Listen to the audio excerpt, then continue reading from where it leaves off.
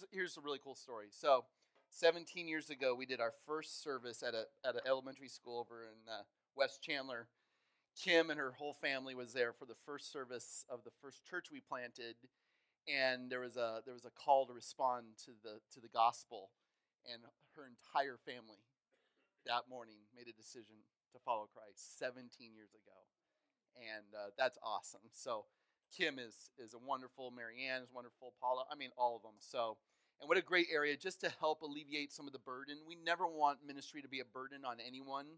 And our primary goal is to make sure Kim and Marianne get a chance to be out, and we call this big church. This is big church. That's little church back there. So um, for them to have that that rest they need, and any one of you could help out with those kids and do a fantastic job. So thanks, Ryan, for uh, for highlighting that area of ministry, and thank you, church, for being so awesome. A couple things, real quick. One is uh, tithes and offerings. You guys are just just knocking this thing out of the park, and we're just praying. We're really praying right now, and you can pray with us.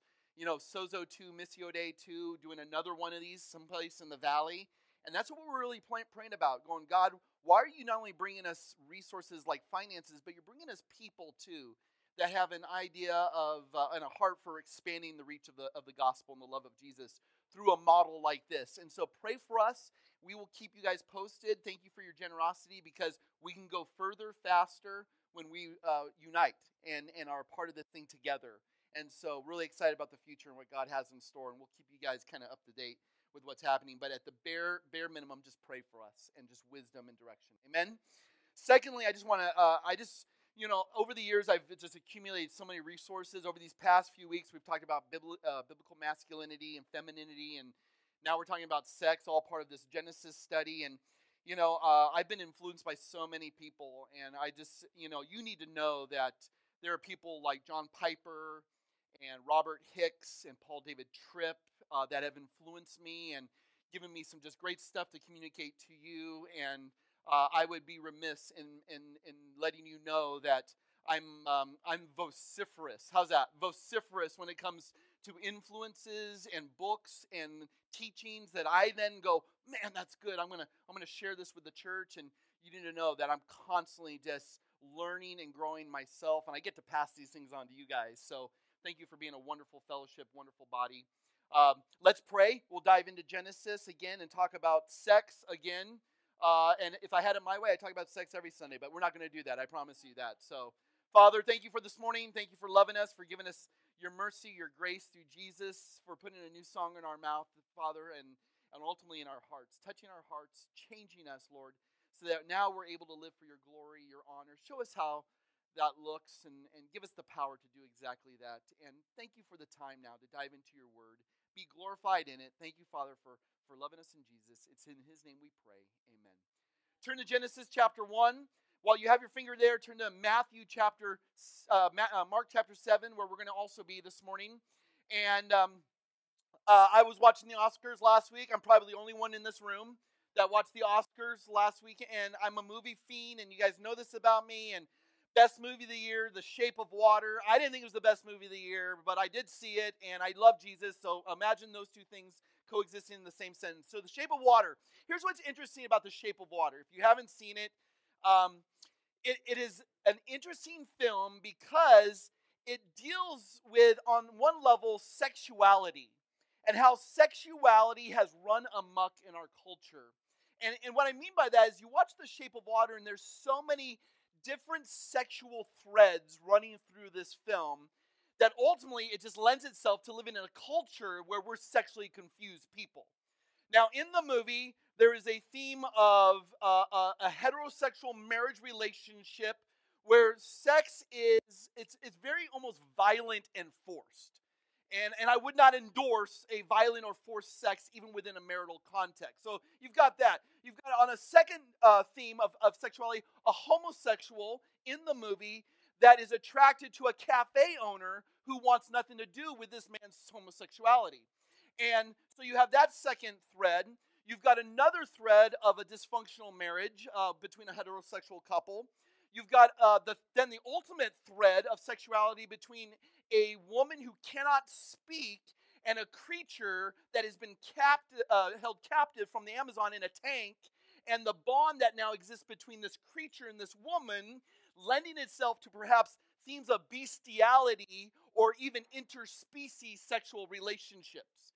And not only that, that the woman who cannot speak, who has this bond with this creature, frequently throughout the movie masturbates.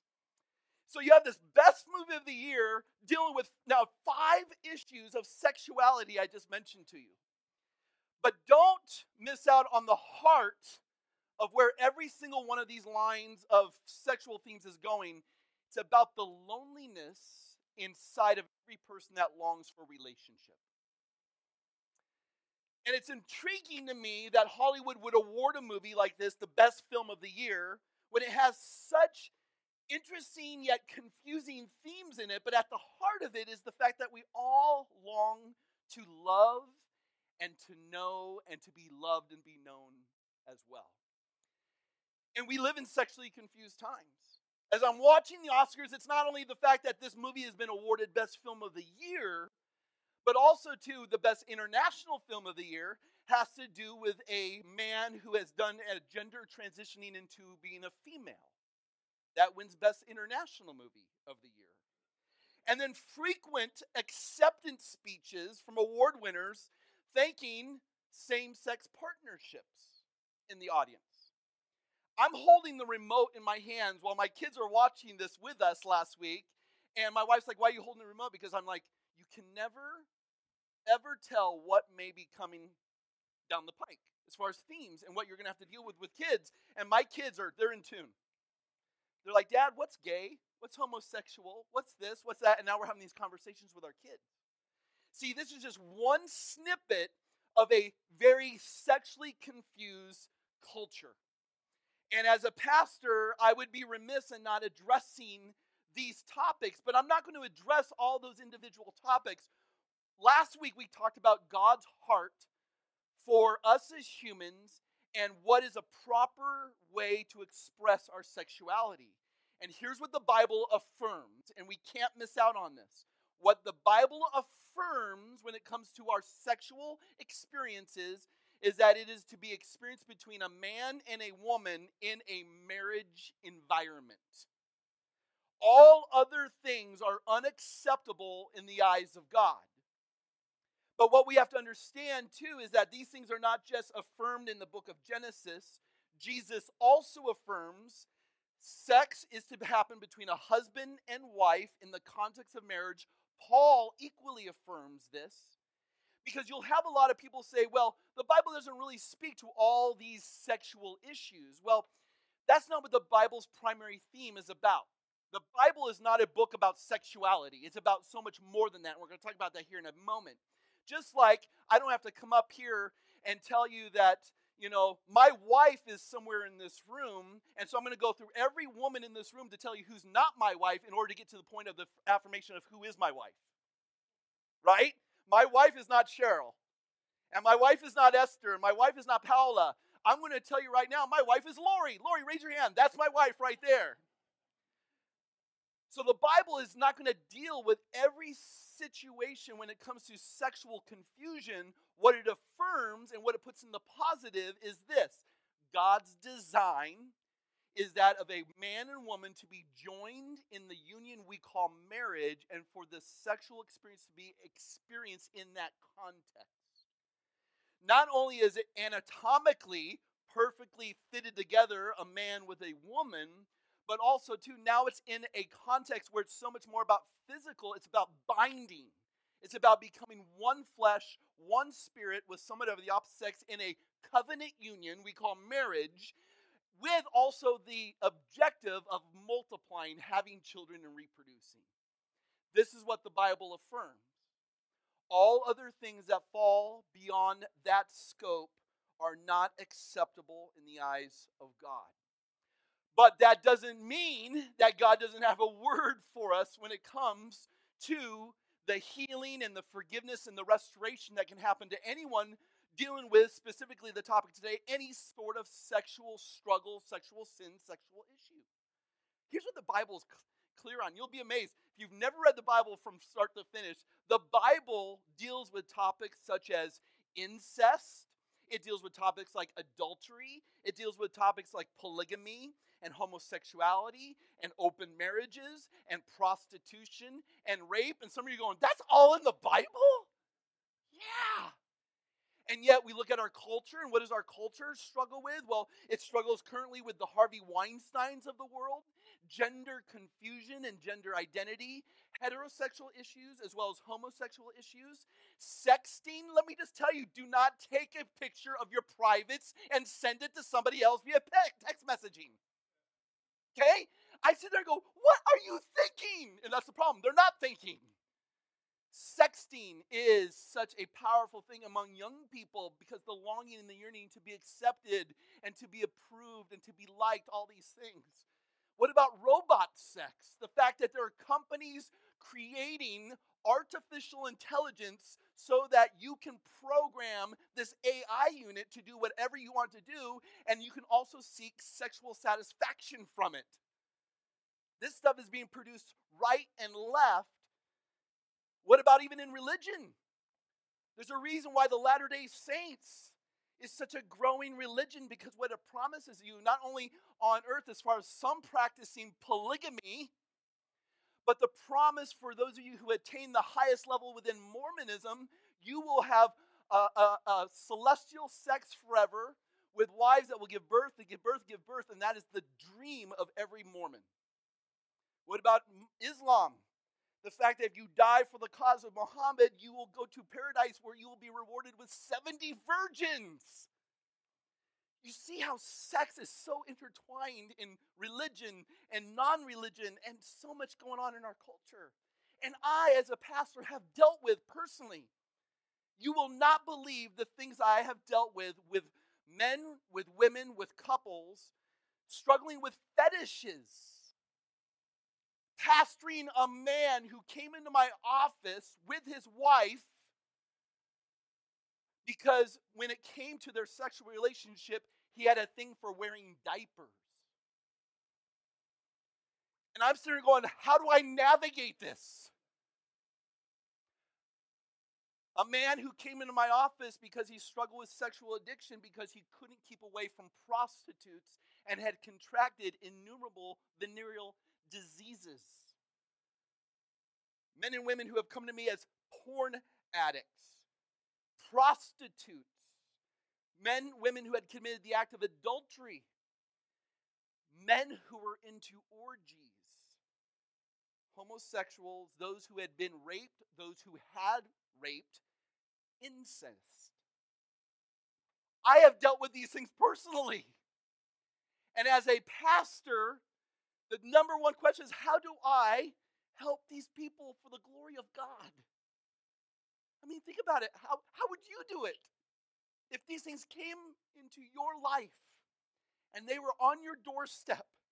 How would you do it? And, and I guess this morning's message is really geared toward that objective. How do we understand the sexual confusion around us and yet engage for the glory of God? That's key. We have to engage, but we have to do it for the glory of God, and I would say for the for the good of the gospel. Because with all these situations, our only hope is the gospel. And I'm going to tell you whether we're talking about sexual sin or any other sin, our only hope is the gospel. You guys are good. Turn to Mark chapter, chapter 7. This is a good place to start because the Bible speaks in one broad term this idea of sexual immorality. The, the word that is used frequently in the New Testament is porneia, where we get what word? Pornography. But it's not just girly magazines or you know uh, porno, porno websites. It's it has to do with all the realm of sexual immorality. And this is what Jesus speaks to. This is what Paul speaks to. Jesus speaks to it in Mark chapter 7. Check this out. Starting in verse 14. He called the multitude to him and he began to say to them, Listen to me, all of you, and understand. There is nothing outside the man which is going into him can defile him. But the things which proceed out of the man are what defile the man. So let me just let's just stop right there. Jesus is concerned about our hearts. Okay? He is concerned about our hearts. And if any man has ears to hear, let him hear. Verse 17. And when the multitude had entered the house, his disciples questioned him about the parable. And he said to them, Are you so lacking in understanding also? Do you not understand whatever goes into the man from outside cannot defile him? Because it does not go into his heart, but into his stomach and is eliminated. And he declared all foods clean. He said, Now don't miss this, that which proceeds out of the man, that is what defiles the man. What is Jesus alluding to here? What he's saying is, there may be things going on in your heart. That's not what ruins you. It's when you act upon what's going on in your heart that ruins you. Th- this is good news because I think so many of us come with, with this, this cowardice before God as if the thoughts and the intentions of my heart is, is what's going to condemn me to hell. And, and God says, in your mind, in your heart, there's going to be a whole swarm of struggles and things you're wrestling with. That's what makes you human. There's nothing wrong with the internal struggle. But what happens is when you act on those struggles, those inner that inner war that's going on, when you act on it, that is what gets you into trouble. So notice this what he says, for from within out of the heart the men proceed all evil thoughts from within, out of the heart, you act evil thoughts, fornications, thefts, murders, adulteries, deeds of coveting, wickedness, pride, foolishness, deceit, sensuality, envy, slander. Can anyone see their sin on that list? Just raise your hand. Rest of you are liars. And, I, and I, did he put liars there? Because those of you that didn't raise your hand, here's what's amazing is that Jesus includes every sin that we could possibly struggle with. And it's so easy to say, well, I'm not a sexual addict, so therefore I'm not on the list. Yeah, but you're a murderer. Well, I've never killed anyone. Well, if you've had hatred in your heart, Jesus says you're a murderer. Guilty! You've ever told a lie, if you've ever stolen, if you've ever so you look at the list, and it is pretty complete, isn't it? And we all look at that and go, I'm on this list. You're on this list. And what Jesus affirms is the struggle that we all share as humanity. What Jesus is addressing is when you act on the things you're struggling with. This is why, when it comes to the realm of sexuality, and specifically, let's just say, for example, homosexuality, homosexuality doesn't send you to hell. Just like heterosexuality doesn't get you to heaven. Amen? People struggle. The struggle is real. What we have to realize is that it's when you act on the things that are going on that do not bring honor to God. That there's a discipline of the heart that must take place, and we're going to get that, to that here in a moment. That is what gets us into trouble. The fact that you struggle does not condemn you to hell. Amen? Just like the struggle with pride, just like the struggle with greed, just like the struggle with, with stealing, these things are going on in our hearts. And John Owen, the great Puritan writer, said the seed of every sin exists, exists in every human heart. The seed of every sin is in your heart. And so, what we need to understand is that Jesus says, these things that go on, they're evil, they're defiling, they've distorted the image of God. But you need to know that you're not ruined ultimately because of these things. And that's what sin does it distorts the image of God in us, but it doesn't ultimately destroy your design as being one created in the image of God. Write those two words down. We may be distorted but the distortion doesn't ruin the core design. And that is good news. Because the Bible takes sin very seriously. And even Jesus, when he came, he said, The reason the world rejects me is because it hates what I'm confronting it with. And this is the good news. First point, number one, the help. Rescue in Jesus. When it comes to the topic of sexual sins or any sin, this is where we start. Amen? The gospel. The fact that we are all wrecked, we are all ruined, and there are a million ways to shatter the image of God, and there's only one way to restore it, and that one way is Jesus. Here's the hope for all sexually immoral people for all committed adultery, for all who have divorced, for all who are addicted to porn, for all who are homosexual, for all who are, are liars and thieves and, and bigots and racists. Your hope is in Christ. This is good news for all of us. Because you may be here in this room and you may say, well, this message isn't for not for me because I'm, I'm not a homosexual and I don't struggle with that. Well, guess what? You may be a liar, so this message is for you. You may, well, I'm not a liar. Well, you may be, uh, you may have an anger issue. See, the message of Christ is for all. And this is where our help comes from. The Lord, the maker of heaven and earth, chooses to come on a mission to restore. He doesn't leave us in our sins. He doesn't leave us wrecked and ravaged and distorted. He has come to rescue us. And this is what I want to put forward is this, this, this, this mission where Jesus, he says, I restrict sex, yes, but you also need to know that he relativizes its importance because the message of the Bible is not, this is an anti sex book. How many people in our culture think that when it comes to the Bible? Like the Bible, all I've heard from Christians is that this is just anti homosexual or anti porn or anti orgy or anti this the message of the Bible, while it contains teachings related to those topics I just mentioned, the message from Genesis to Revelation is this God is on mission to love you as you are, where you are, but He doesn't want to leave you where you are. He wants to grow you and restore the image of God in you. That's the message. Forgive us for distorting that.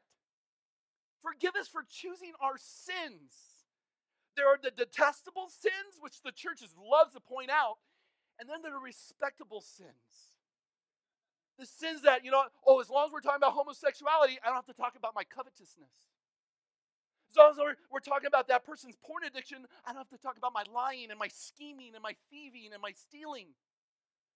You see how we have the detestable sins and we have the respectable sins. Let me just tell you, all sins are equal in the eyes of God because all of us fall short of His glory and the ways we have ruined our image is exactly the reason why Jesus came to restore that image. A million ways to shatter the image, one way to restore it Jesus. This is our help. And what is the message of Jesus? It starts this way Repent, for the kingdom of God is here. Repent. It's, it's where we start. What does repentance mean? It means I must declare, come to a point where I am no longer Lord of my life, He is Lord. And now I'm going to reject the things I desire and accept the things He desires of me. See, when it comes to the Lordship, this is why repentance is key. He's the boss, He is God, He is Lord. And so repentance is where we begin. See, when it comes to repentance, all of us have our little gods we want to hold on to because we like to be in control. Any control freaks out there? That's a sin. And when it comes to the Bible, it is an equal opportunity offending book. Amen? None of us are immune. And yet, what is so marvelous is the hope of the gospel found in Jesus who says, Turn and follow, reject and accept leave behind and love. This is repentance. And even Lewis, C.S. Lewis, in his book Mere Christianity, written in the 40s, dealt with the topic of sex and said, if this is something you're wrestling with, go ahead and just kick sex to the curb and focus on the Christ, cross because it is the cross that we really must wrestle with. We don't start with our sin and try to work our way to the cross. We start with the cross and work our ways out because it is the cross which we want people to be bowled over by. This, this death, resurrection, and burial and resurrection of Jesus, which then is the greatest manifestation of the love and acceptance of righteousness of God, you give people the hope of the gospel and you allow that to be the core of your message and let it work out into their sexual sins, that's the proper way. Because if you start with people's sexual sins and try to get them to the cross, you're going to find yourself to have a hard hearing with that person. You hear, you hear what I'm saying? I don't want people to be bowled over by the gravity of their sin. I want be, people to be bowled over by the love and righteousness of our God displayed at the cross of Christ. That is what changes people. Right? That is what changes people. So Lewis says start with the cross. Why? Because you want people, in Lewis's words, to stop making mud pies in the slums because they don't know what a holiday at the sea around the corner is like. Take them to the ocean and they'll never go back to the slums. Let them hear the ocean waves and they won't be satisfied making mud pies. Too many Christians start at the edges and work in, and you lose a hearing for the gospel. I was not a part of the Chick fil A deal that happened a couple years ago. As if my public declaration against homosexuality has to do with me eating yummy, addicting fried chicken. Why? Because nothing in that message tells us about the cross of Jesus Christ. And if you were a part of that, you have not committed the unforgivable sin. You're still loved, all right? But we have a lot to learn as believers when all we want to do is go out and confront people with their sins when we're even hiding respectable sins in our own hearts. And in reality, we need to start with the gospel and let people be gripped by the love of Jesus on the cross. See, if you start with the sin, you'll have a hard time getting a hearing for the gospel. I love what Tim Keller says. He said this Churches should feel more like waiting rooms to see the doctor and less like a waiting room for a job interview. Why? When we're all in the waiting room for a job interview, it's all about competence and being better than the other person in there. Whereas if we're all waiting for the doctor, we all realize we're sick and need help.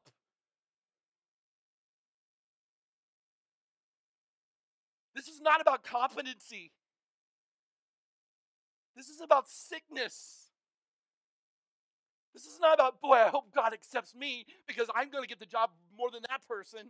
This is about the fact that we all stand on equal ground before the cross as sinners in desperate need of a rescue, and the help has come through the rescuer, Jesus. How dare we as the church act as if our crap is clean and it's not? Because the moment you started dealing with all the sexual sins out there, what about the porn you're addicted to? What about the marriages you've had? What about the adultery you've committed? So let's talk shop, shall we? And none of that is beyond the forgiveness of God. All the stuff I've mentioned is able to be forgiven and be healed in Christ. Amen? The church is a place for the sexually broken. And who is sexually broken? Every single one of us. Look at 1 Corinthians chapter 6. Here's what Paul says. Do you guys think this is going we're, we're getting we're, this is going to get hotter? Do you not know that the unrighteous will not inherit the kingdom of God? Notice, it doesn't say the homosexuals won't. It doesn't say the adulterers won't. It just says any who are unrighteous and all who are born into this world are unrighteous. Do not be deceived, neither the sexually immoral, nor the idolaters, nor the adulterers, nor the men who practice homosexuality, nor thieves, nor the greedy, nor the drunkards, nor the revilers, nor the swindlers. It's a pretty exhaustive list, isn't it? Will inherit the kingdom of God, and such were some of you. Were past tense, meaning Paul's delivering a message here saying, wherever you find yourself in that list, because you're all in that list, in Christ, you were these things, but you were washed, you were sanctified, you were justified. How? Through Jesus. And now you are accepted, and now you have eternal life because these things define your past, they don't define your present, and they certainly have nothing to do with your future. That's awesome. Which is why point number two is important. Our hope. The hope It's about relationships with Jesus. And first, we have to deal with the relationship we have with Christ and why is that a hopeful relationship and the relationship we ought to have with other Christians, which is also a hopeful environment for relational context for us to grow in. So, number one, with Jesus. Remember, Jesus is the one who came into the world to confront the world with its sinful ways. Jesus wasn't this milk toast Messiah walking around in Birkenstocks driving a you know convertible cabriolet listening to Taylor Swift. All right, this is this is not Jesus. Jesus came and said hard things, and yet with his truth, he also brought grace. And perhaps the greatest summation of Jesus' ministry is John chapter 1, verse 14. He is full of truth and grace. Why is this important? Because if you're all about truth and there's no grace, you're just legalistic and fundamental. And if you're all grace and no truth, you're just sappy sentimentalism. Jesus embodied both these things. And number one, he wants us to know that in Christ, it is not about iniquities, but it's about identity. So often, and again, I'm going to just deal with the, the realm of homosexuality because I've had close friends. Matter of fact, one man dated a close family member of mine who was a female, and he came out to her and said, "We can't continue this relationship because I am now I'm attracted to men." And this man and I met and we cried and we talked and we love each other. But the thing I don't want him to go around saying is that I'm a homosexual. Because that's not what defines you. Just like I don't go around saying, hey guys, I'm a murderer. How many people are going to be like, oh, I'm crossing on the other side of the street? Oh, did you hear Scott's a murderer? You know, you're praying with me and with one eye open now in a, in a prayer group, right? We don't, we're not identified by our sins hey, here's Larry the anger guy, and there's there's you know Pam, the one who struggles with thievery, and then there's Ron who struggles with who knows what Ron struggles with, but you know. We're not defined by these things. That's why perhaps a better term for homosexuality is those that struggle with same sex attraction. We're not going to condemn them because they're same sex attracted right this is something that they they struggle with inside but they are not identified by their sexuality they are they, they're they're they're identified by being created in the image of God. Right? This is what Jesus got to the heart with. He didn't define people by their iniquities, he wanted them to be restored with their identity. The gospel doesn't define us by our temptations, but it defines us by the righteousness we have in Christ Jesus. This is why John, in the Gospel of John, write this down, you'll want to look at it later. Nowhere in the Gospel of John does John call himself John. He always identifies himself as the one who Jesus loves because there's a radical identification now that he has because of Jesus. And he's not walking around saying, Hey, I'm James's brother, or I'm a fisherman, or I'm a thief, or I'm a crook, or whatever. He calls himself the one whom Jesus loves. That's his identity. And we would do well to learn from him that our sins are not fundamental to our identity. And whatever we may struggle with, whether it's sexual sins or any other kind of sins, they are a part of what you feel, but they're not who you are in a fundamental sense. Because I may struggle with anger, or I may struggle with greed, or I may struggle with pride, those things do not define me. Amen?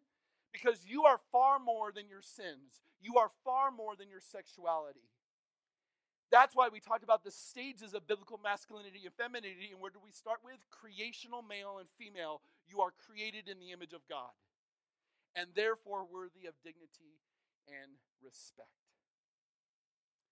I may struggle with these things, but they don't define me. So the question is this In Christ, will I allow my struggles and my sin and maybe my environment define me, or will I allow Christ to define me?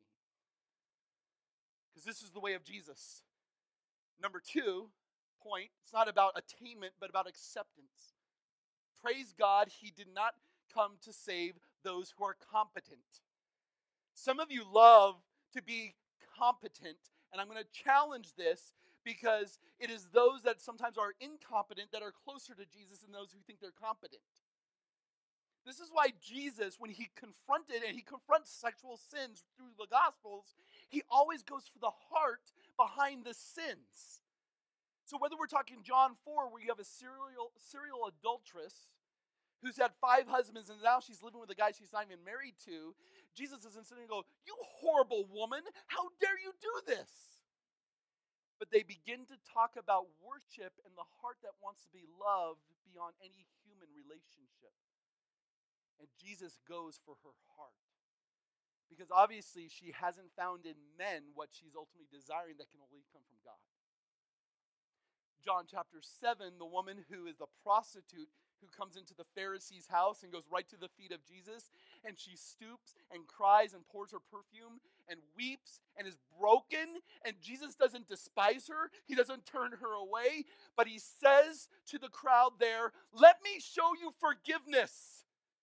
Because this woman who has given herself to every man in town, or a lot of them, is just desperately broken at the feet of Christ. And he says, Those of you in this room, you think you're competent in the ways of religion? Well, here's this incompetent woman who understands what brokenness and repentance looks like, and he forgives her while the other men sit in pride and unforgiveness. Her greatest need was forgiveness, just like your greatest need and my greatest need is forgiveness as well. And then you go to John chapter 8, and you have the woman caught in the act of adultery, and all the religious leaders bring her to Jesus and say, What do you say we should do with her? And they're all licking their lips because they're thinking, Stoning, stoning, like this is a day for stoning, right? And they all pick up their rocks and they're ready to pelt this woman and kill her because if Jesus says she's innocent, well, he's clearly violating the law of Moses. But if he says stoner, then he's lost the reputation to be a friend of sinners. And he says to them, you're here and you're without sin, if you're here and you think you're competent, if you're here and you think your life is perfect, by all means, step right up and cast the first stone. And from the oldest to the youngest, they all drop their rocks and leave. And now it's a half naked woman and Jesus. And Jesus says, Where are those who are, who are trying to accuse? She says, They're not here. And he says, Neither do I condemn you. Go and sin no more. Acceptance before attainment. The gospel is not change and then maybe you'll be accepted. The gospel is know that you're accepted as you are, where you are, messiness and everything, and watch how God changes. But don't you dare go to someone and say, you know what? You really need a shower in Christ, but go ahead and take a shower before you take the real shower because the pre shower is going to be important as, as well as the second shower. You come to Jesus with all your filthiness and with all your bag- baggage and all your distortions and all your sin and all your iniquities. And you find that He is a Savior who says, I don't condemn you because John chapter 3 verse 17, which comes right after John 3:16, one of the most popular Bible verses in the world, right? Here's what John 3:17 says, "For God did not send the Son into the world to condemn the world, but in order that the world might be saved through him." God will deal with all unrighteousness at some point in time, but for right now, the body of Christ, the hands and feet of Jesus, i.e., the church, ought to be, like Christ, a non condemning entity that says all are welcome to Jesus, no matter how thick your crap may be. Amen? So, Jesus says, Be like me. Accept people.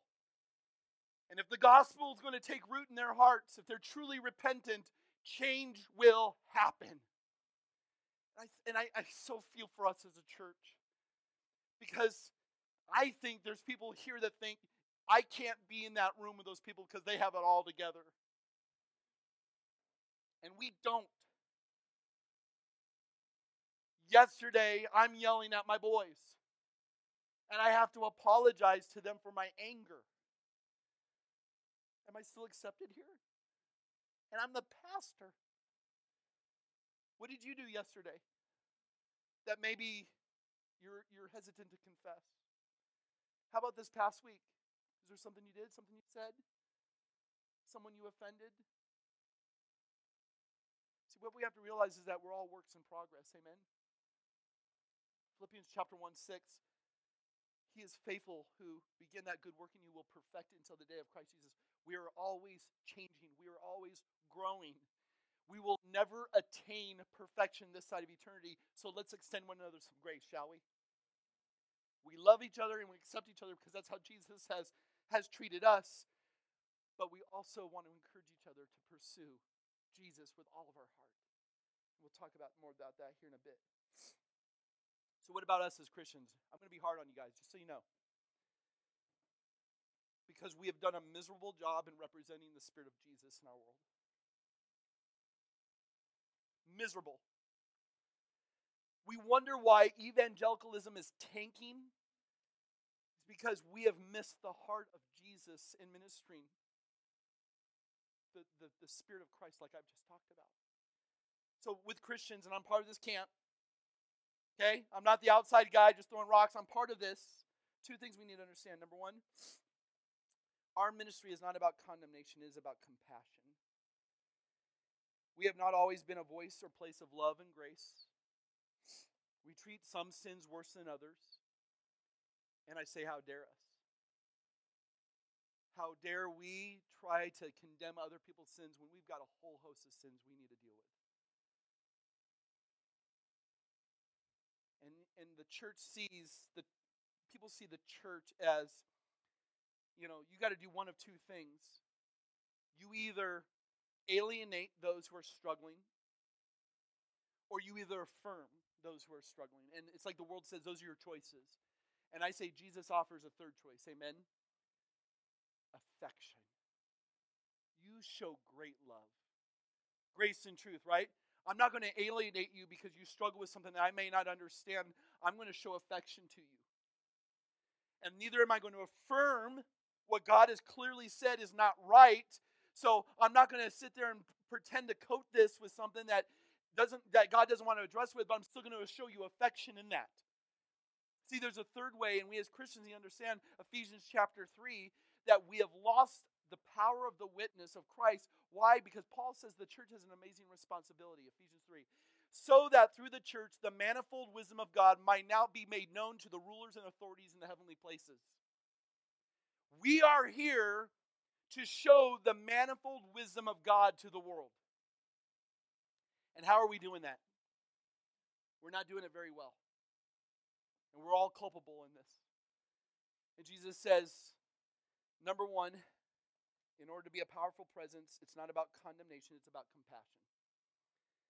Jesus was moved for his love for people, and these people were being destroyed by sin, and he said, I will not sit by and allow their lives to be destroyed by sin. I'm going to love them. And that's why you've heard me say before love is the most powerful apologetic. Just love like Christ and let God do the rest. See, I have this little thing on my phone, and it's a little diagram, and it says, you know, how to make your life easier there's a little circle saying the things I can control, and there's a bigger circle of the things I can't control. You're a whole lot better off just dealing with the little circle of the things you can control. And what can you control? You can control your love for all people and let God take care of the rest. Amen? And so, all humans want to be loved and known. The problem is the church says we love, but we don't know people, and that just leads to sentimentality. And we know a lot of people, but we don't love people, and that leads to rejection. When you say you know somebody, but you don't enter into a love with them, you are essentially rejecting them as a human being. This is why we have a lot to learn from Jesus, being the friend of sinners. How is grace and truth combined? Well, I'll tell you, an elder at this church and I one day went to the workplace of a man who was being abusive towards his wife. We took a Saturday out of our schedule, went down and confronted this man. Why? Because we love him. And yet he was mistreating his wife. There was a sin going on in the marriage, and me and another elder went with the spirit of love, yet truth. And this is the way of Jesus. We affirm the relationship, and we say, We're, we're in this with you. We are in this with you lest we be guilty of Matthew chapter 7 verse 1, right? The second most popular verse in the world. The first is John 3:16, second is Matthew chapter 7 verse 1. Judge not lest you too be judged. Here's the problem. When you love the person, you not only tell them the truth, but it's what you do after you tell someone the truth that determines whether you're judging them or not. Are you willing to stick around and be a part of uh, the pursuit of Jesus together? Because you judge someone not when you assess their position, but when you dismiss them as a person. Point number two this is why this is important because this is not about policy, but about personhood. I don't care about your statement of faith. I don't care about the, the doctrinal statement you put together and say, here's all the things I'm for and here's all the things I'm about. What I care about is just do you love people that are like you and not like you? See, I, I entered a season a number of years ago where I made it about policy and not about people. There was a there was a string of divorces going on in a church that I pastored, and instead of dealing with all those couples individually and coming alongside them and helping them see the healing that can be found in Jesus, I thought I'm going to take the easy way out and just put forth a policy of saying why they're all wrong, and that came back on me because now I'm not a friend of sinners. And I'm a pastor. And how dare I make it about policy when in the core of it, it is about people. It's about personhood. It's about seeing people being have that image of God restored in them, and you don't restore image through policy. You restore image through love.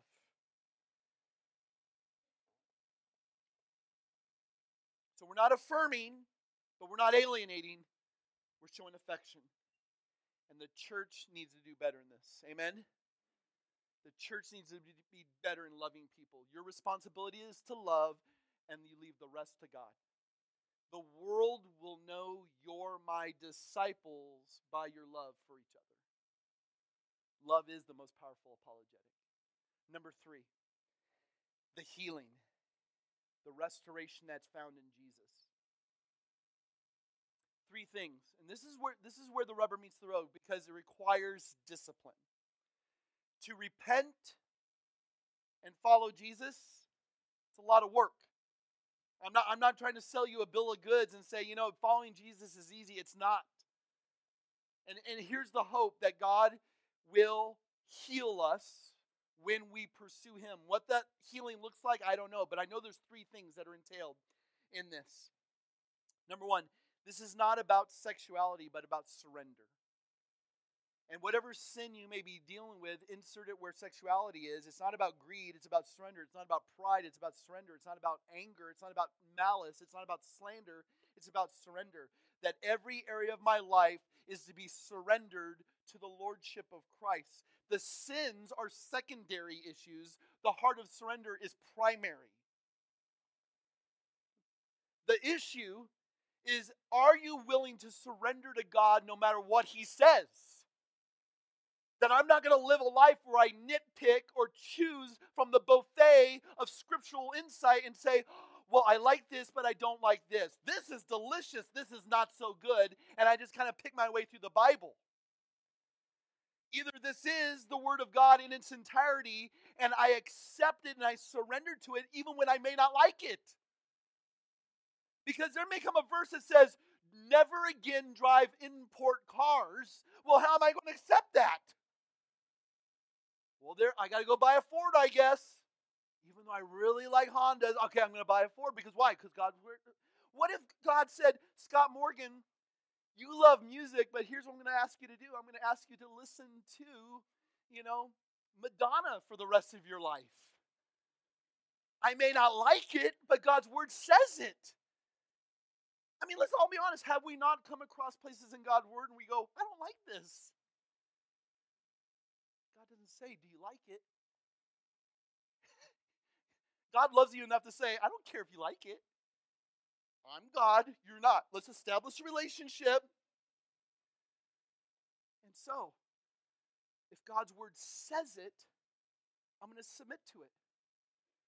You know, there may be some part of my my sinful heart that says, Boy, I would love to have sexual relationship with someone other than my wife.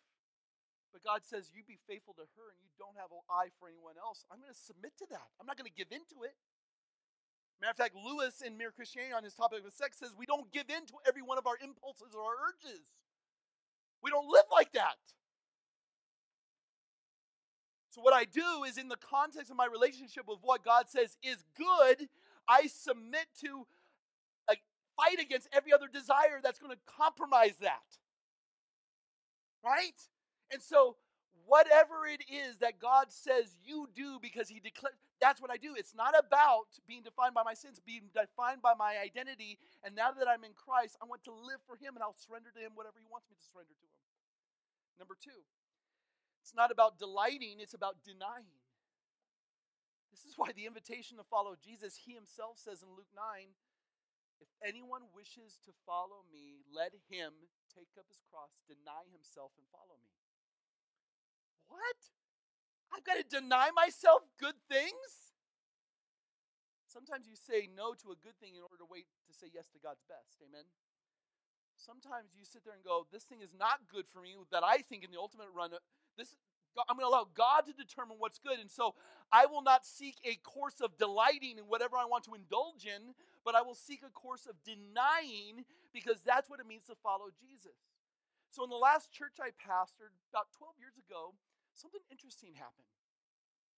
I noticed we were, we were doing two services. There was a group of women that came in, and again, I don't want to stereotype and I don't want to just throw out a caricature, but I could detect that this was a group of women that were lesbians just by the way they looked and and I got to talk to them after one of the services, and there were probably about eight of them that came in together.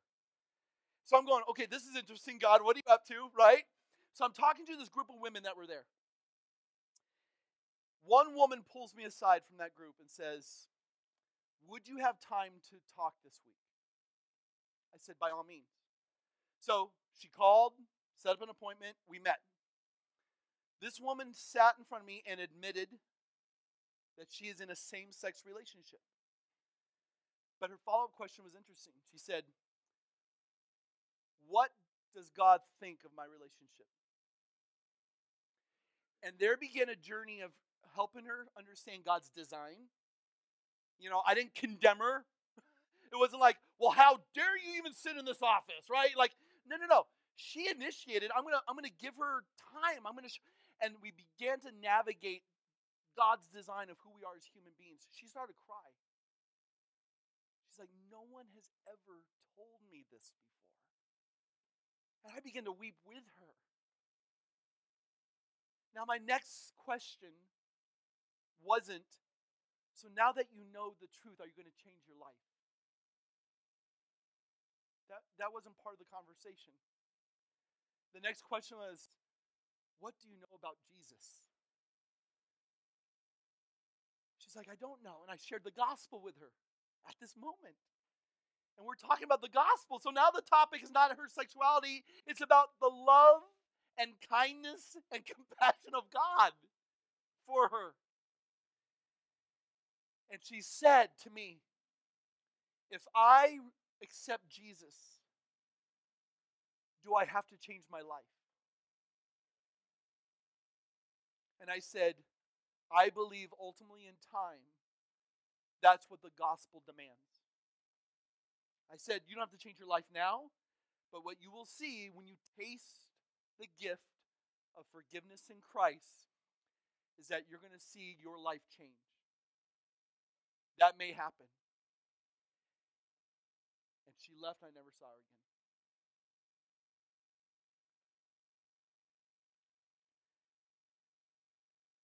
God meets people in their place of desperate need. But some people don't want to relinquish the right they have, they think, over their own lives. When in reality, in Christ, there's things I'm still learning 30 plus years later in following Jesus that I need to give up. How about you? When you came to know Jesus, were you perfectly all signed, sealed, and delivered, ready to go to eternity because you were perfect? No. But the message is this denying yourself doesn't mean I'm going to tweak my behavior here and there. it means I'm going to say no to the deepest sense of who I am for the sake of Christ. It means that the gospel demands everything from me, so therefore I'm going to live and I'm not going to sit there and go, I'm going to make minor adjustments to my life so I just barely get into heaven. I'm going to make major adjustments in my life because this is what the gospel demands. And we will journey with each other together to that end. How much are you willing to give for the kingdom of God? Because I'm going to tell you right now, you will lose everything as you follow Christ. Worth it. It's worth it. Number three, and I'm going to close with this.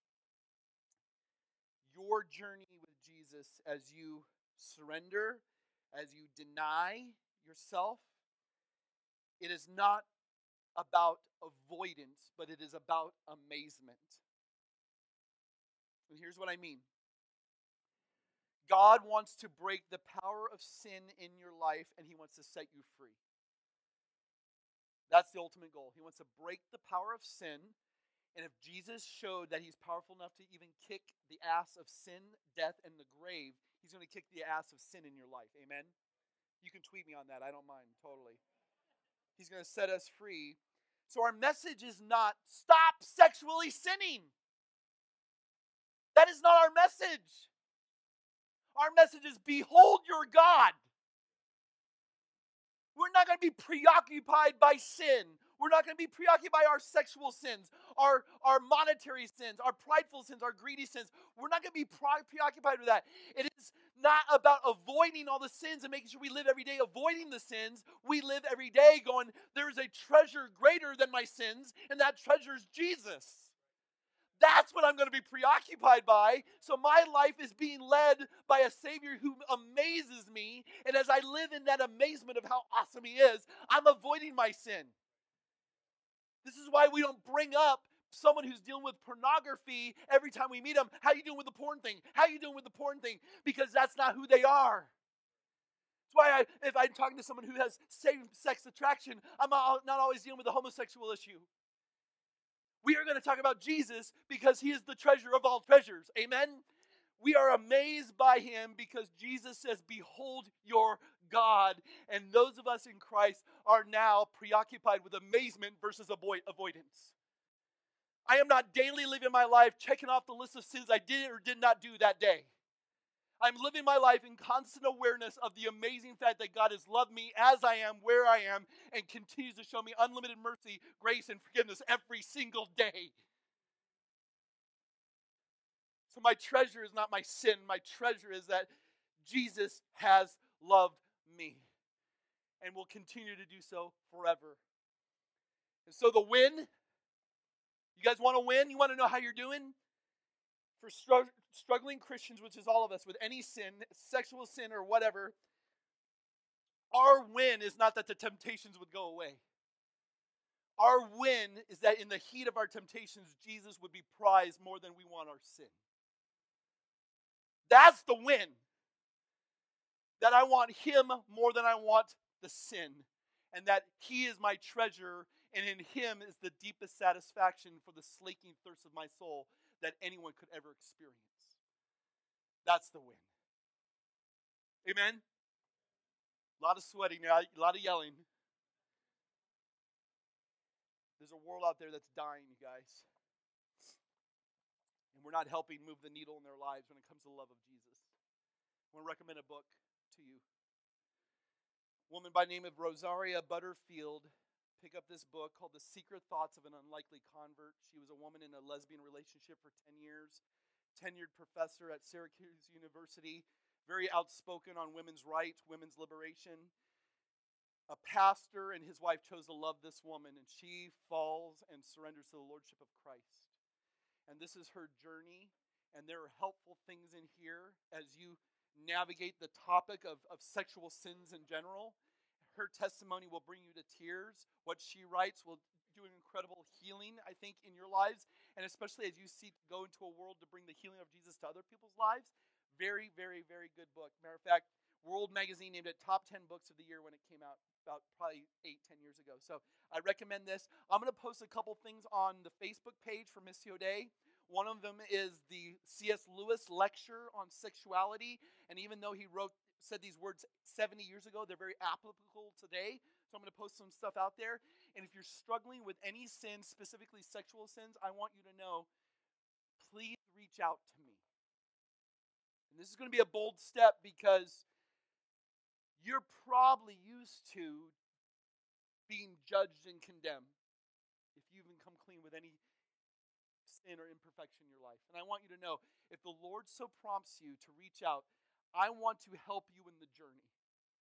And if that means you're a man who's dealing with porn, I want to be there to help you in this journey because I have also dealt with this in my own life. If you're a woman who's addicted to porn or you know you frequent prostitutes or you have same-sex attraction, whatever it may be, here's what I want you to know. You're going to find the spirit of Jesus here. A spirit that doesn't condemn, but a spirit that is going to accept you and love you, but will also help you in the journey because we are a family, we are a community. And we are not going to alienate you. And I'm sorry for the ways that you've experienced the opposite of the love of Jesus in your experience. But I want you to know there's something different here. And if you be so willing to reach out, I want you to know my promise to you is that you will be loved and we will help you in the journey to love Jesus more than you love anything else. Amen. Anything you would add to that, babe?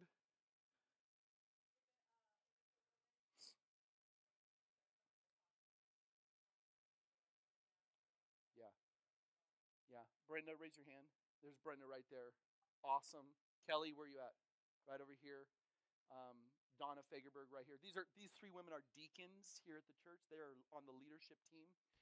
I love each of them. Ladies, reach out to them. Deacon men, raise your hand just so people can be aware. Any one of these guys. There's Tim right there. There's Kevin right there. There's Mike right there. Where else? The other deacons are out smoking. But other than that,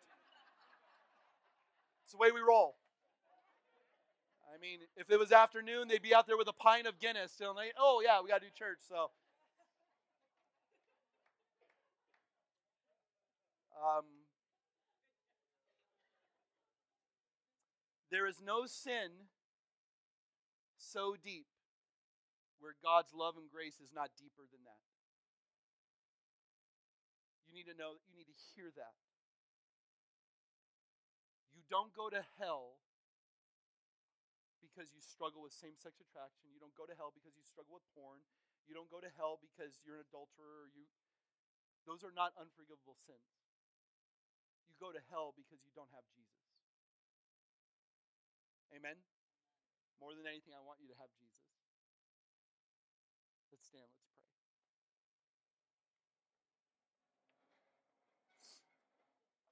Lord,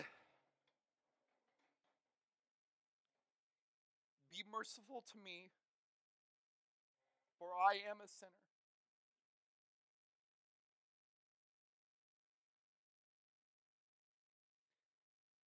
We stand before you a holy God who would have every right to condemn us. But we're here today because you are a kind and merciful and gracious once again has interrupted the flow of our lives to remind us of the greatest thing any human could ever hear that while we were yet sinners, Christ loves us, Christ dies for us.